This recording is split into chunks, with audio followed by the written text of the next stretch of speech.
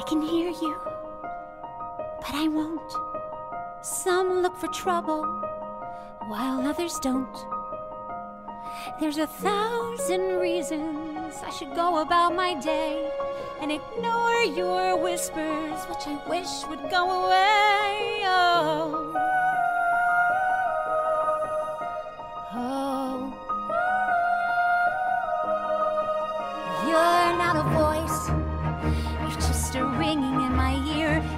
If I heard you, which I don't, and spoken for, I fear.